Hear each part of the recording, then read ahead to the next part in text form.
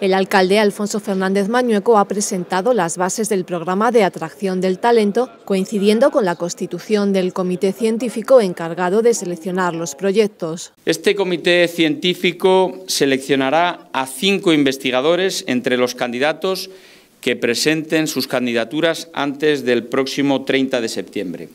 Las personas, fundamentalmente jóvenes, aunque no necesariamente opten a esa convocatoria, deben acreditar logros vinculados a su campo de investigación y también, eh, no solo al campo de investigación, sino a su etapa de estudio, incluyendo publicaciones sobresalientes en revistas internacionales.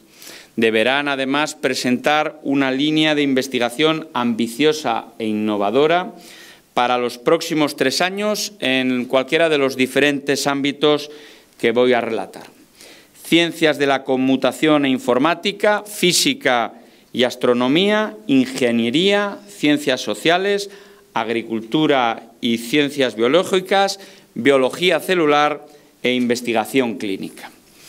El comité valorará las solicitudes teniendo en cuenta la excelencia científica. El ayuntamiento destinará dos millones y medio de euros durante los tres próximos años para financiar proyectos de investigación en Salamanca con el objetivo de impulsar la industria vinculada al conocimiento y al talento.